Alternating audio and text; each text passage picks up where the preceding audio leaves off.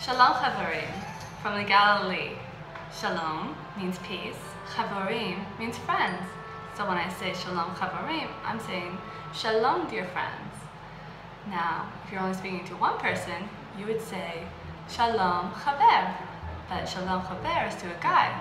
To a girl, you would say Shalom Chavara. Try it with your friends back home.